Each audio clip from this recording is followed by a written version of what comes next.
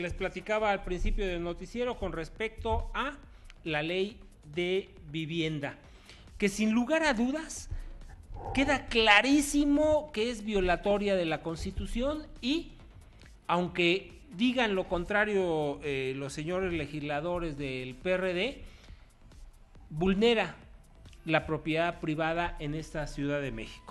El día de hoy tenemos la oportunidad de platicar con el licenciado Javier López Adame, él es diputado del Partido Verde Ecologista de México y eh, él es eh, diputado local allá en la Asamblea Legislativa, coordinador de la bancada del Partido Verde Ecologista. Señor diputado, te agradezco mucho el que nos hagas el favor de tomar la llamada. ¿Cómo están? Buenas tardes. Muy buenas tardes. Oye, muy preocupados. Ya desde hace mes y medio nosotros veníamos con la cantaleta de esto que nos pretendían imponer, que es la plusvalía. Lo quisieron meter en la Constitución, lo echaron para atrás, pero eh, tarde noche del viernes nos venimos enterando que en la ley de vivienda, en el artículo 94, pues nos las dejaron completita, ¿no? ¿Qué, opinión les merece a ustedes como eh, bancada, eh, como Partido Verde Ecologista? Y ¿Se va a quedar? ¿No se va a quedar? ¿La va a publicar el jefe de gobierno o va a haber presión por parte de los legisladores para evitar que cometan este atraco? No, indudablemente se tiene que observar ese artículo. El día que se estaba votando, el diputado Zárate de la fracción del Partido Verde señaló que la posibilidad de que dicho término fuera inconstitucional, precisamente porque no hay un antecedente firme de respecto de lo que significa en la Constitución Federal, ni siquiera tampoco en la posible Constitución local de la Ciudad de México.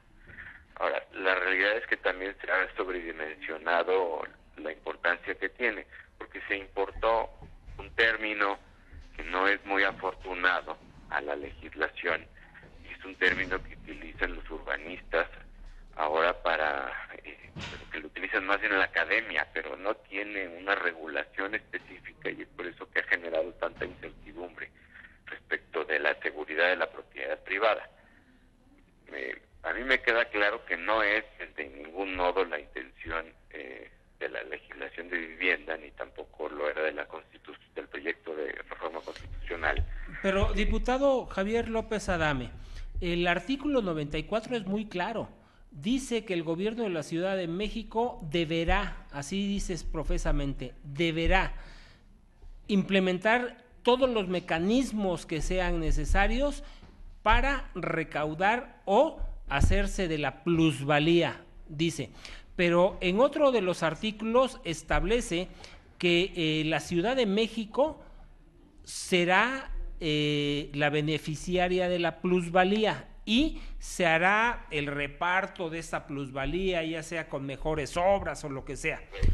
Es un término mal aplicado de algo que ya se ya ocurre en la Ciudad de México.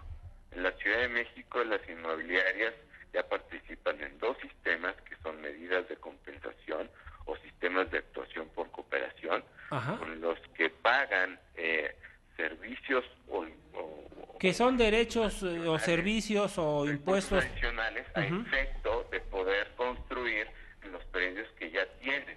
¿Y por qué pagan recursos adicionales? Bueno, pues porque en realidad eh, cuesta más para el gobierno poner servicios públicos para un edificio de 5 o un edificio de 20 pisos. Claro. Es decir, eh, lo, de lo que se está tratando es de importar un término que utilizan los urbanistas mal hecho a la ley. Pero aparte, este pero aparte, eh, diputado Javier López Adame, en este artículo no está diciendo de que se van a cobrar derechos o un impuesto especial a aquellos que quieran construir o urbanizar un determinado predio. Lo que está diciendo es que eh, la Ciudad de México deberá implementar todos los mecanismos necesarios para hacerse de la plusvalía. Y esto es clarísimo, no, no necesita interpretación. Una ley cuando necesita interpretación es porque está mal hecha. Y aquí de manera clara y profesa, lo que están diciendo es que el gobierno de la Ciudad de México, si se publica esta ley, inmediatamente será, será copropietario de todos los bienes inmuebles que existan en la ciudad, ¿eh? No, no, no. definitivamente no es así. Este, por eso te, te, reitero que es un término muy para llevarlo a la reforma legal. Eh, en términos académicos les dicen mecanismos de captación de plusvalía y aquí se ha entendido eh, hacia un, atentado en contra de la propiedad privada que me parece que es un exceso y es un error, definitivamente. Lo que, lo que se pretende es algo que ya sucede, nada más que tiene que ser mucho más transparente y mejor regulado. El término es muy desafortunado y creo que sí debe de eliminarse precisamente como tú bien dices, se presta a una interpretación errónea y que puede ser, en la opinión de muchos, de riesgo para el ciudadano, pero definitivamente no es la intención. Ahora, eso no quiere decir que eventualmente la idea de que grandes inmobiliarias puedan pagar recursos adicionales por los servicios adicionales que requerirá para el Estado poner servicios públicos para un predio que permite hasta 25 pisos, pues me parece que es algo que ya ocurre en todas las ciudades del mundo y que es así como se pueden financiar eh, otras opciones de vivienda que no son precisamente estas de reforma 222. Eh, precisamente para que se cobre a los que generan un usufructo muy grande por el uso de predios de los que son propietarios, pero que requieren recursos adicionales del Estado para surtir de servicios públicos e infraestructura a toda esa, a toda pues esa eh, infraestructura, vamos. Claro que esa es eh, infraestructura urbana y que debe estar perfectamente regulada y obviamente cobrado. Por eso, por eso es un término académico eh, de urbanistas que se intentó eh, poner en la ley de manera eh, errónea, que me parece que debe ser mucho más mejor aclarado y regulado. Y dos, pues la ley de vivienda ni siquiera tendría por qué ser necesariamente el, el lugar adecuado para eso. Debería ser la ley de legislación en materia de desarrollo urbano, precisamente donde se prestan o no los permisos este, para construir y ahí poner adecuadamente los mecanismos a través de los cuales alguien debe pagar más por los servicios que va a requerir. Claro. Mira, yo, siento, diputado Javier López Adame, que aquí hay una mano tramposa que eh, metió este texto para ver si era cola y pega y lo podían pasar y después irlo afianzando poco a poco pero la realidad es que está escrito de tal manera que no deja dudas de qué es lo que pretenden. Eh, Carlos, Marx, en su tratado del Capital, eh, vierte o implementa por primera vez esto de la plusvalía y hace la referencia en que la plusvalía es eh, la ventaja que obtiene el trabajador al comprado adquirir un bien con menos horas de trabajo. Y él hacía la similitud en cuanto a que para adquirir cualquier bien se requerían ocho horas de trabajo. Y si una persona al trabajar cuatro horas lograba obtener ese bien tenía una plusvalía. Y a eso es lo que se refiere la plusvalía. Un valor adicional. Exactamente. El valor adicional a lo que Nada más que resulta que en esta pero pero a ver, el punto es que sí es una plusvalía que el gobierno de la ciudad disponga de infraestructura adicional alrededor de un predio, porque eso le genera valor al predio. Sí, pero ya lo está pagando el contribuyente con sus impuestos, porque el gobierno de la Ciudad de México, uno, ni tiene capital propio, es decir, que él lo genere, es dinero de los contribuyentes que tiene la obligación de bien administrar y regresarlos con bienes y servicios a todos los ciudadanos, porque esos esos bienes de valor los estamos pagando los ciudadanos. Pero en otras ciudades se pagan múltiples estos tipos de impuestos y el predial, en mi opinión, debería estar dividido en todo lo que debe o requiere generar. Claro. en la Ciudad de México no pagamos una cuota por la el, servicio de limpia porque aparentemente ya viene incluido en el,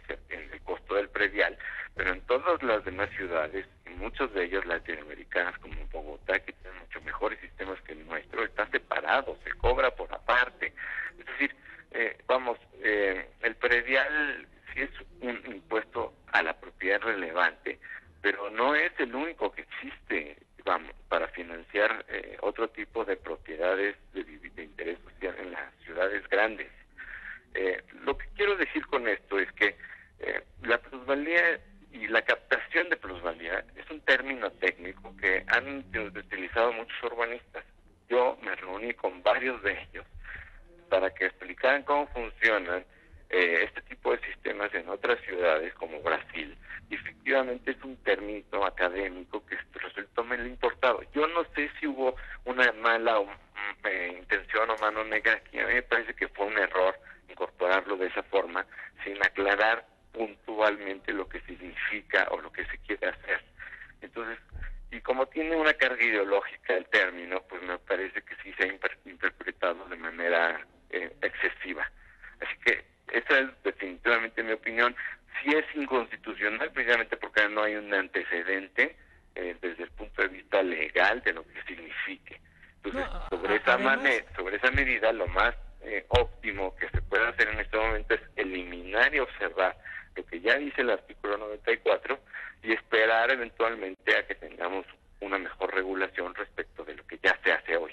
Claro, y, que además en la misma Constitución se eh, establece la obligación de todos los ciudadanos del pago al incremento de la riqueza, que es el impuesto sobre la renta.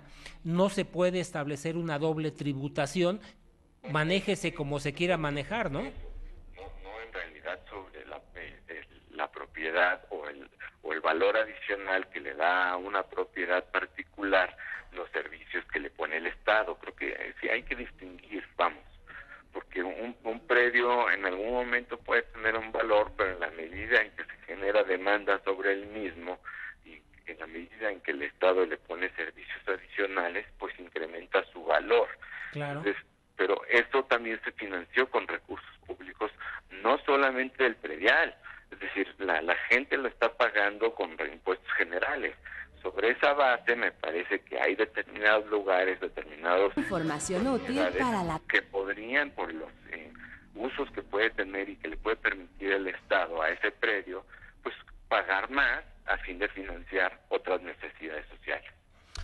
Diputado Javier López Adame, ¿tú consideras entonces que esta ley no va a ser eh, publicada?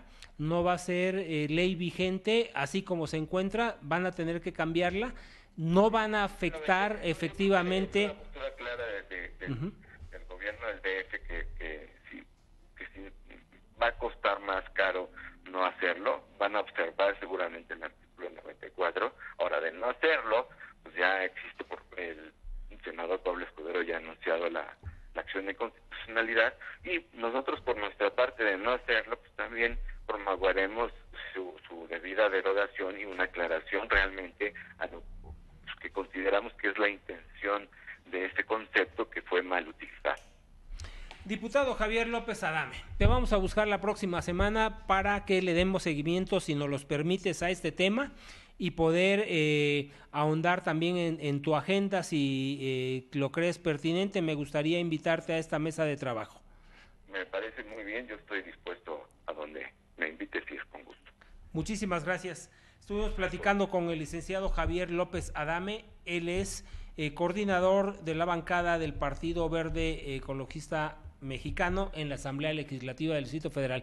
Y en pocas palabras, lo que nos dice es que la ley, así como fue aprobada, simplemente no la van a publicar. Ojalá que el jefe de gobierno lo entienda de esa manera y no nos vayan a dar el pisotón, ¿no?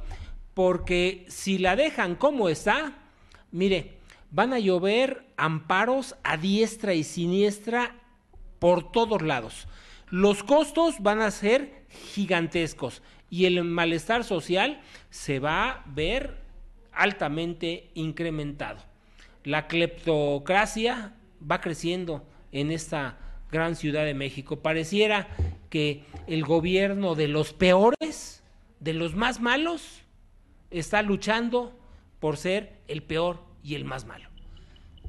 Soy Eduardo Ramos Fuster, vamos a un corte y regresamos. Sigue escuchando El Punto Crítico. Información útil para la toma de decisiones. ¿En serio? Te lo juro, los aliens me secuestraron por años y me liberaron hace poco. Mm, Aprendí su idioma, pero inglés no.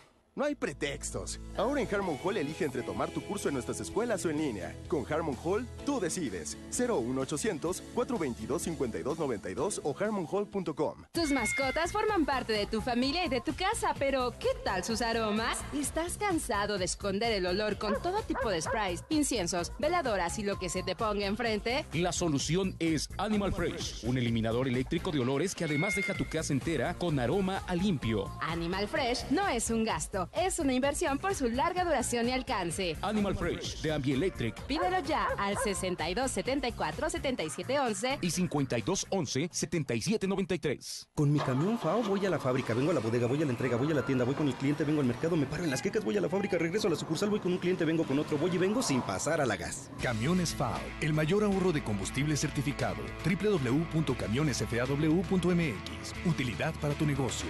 Hechos en México. Concesionarios en todo el país. La Universidad de la UAI tiene una oportunidad única para ti. En tan solo tres años obtienes tu licenciatura y en dos años más tu especialidad y maestría. Ven y prepárate con nosotros para enfrentar al mundo laboral. Universidad YMCA, educación integral para tu vida profesional.